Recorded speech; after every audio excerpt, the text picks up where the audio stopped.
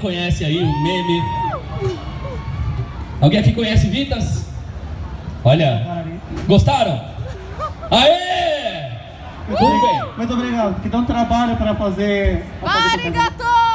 Dá um certo trabalho fazer essa voz para poder falar com o Deus Metal. É, eu sei bem. É uma pena que a gente não vai tocar Massacration nesse show. Que pena! Eu queria. Vamos lá, próxima.